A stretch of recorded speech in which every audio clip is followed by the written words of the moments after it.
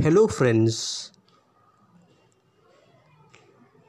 Today we are going to draw the village side scenery.